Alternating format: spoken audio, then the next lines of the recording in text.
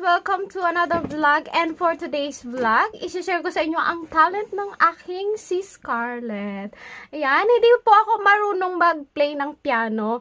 And hindi ko rin kayang sabayan yung yung magpiano ako. Pero na-discover ko na ang nakaka-appreciate lang po ng aking piniplay na piano kahit wala sa tono ay yung aking si Scarlett. Okay? piano din ka ba? Okay ha, pakinggan ninyo ha, kasi kakanta si Scarlett ko.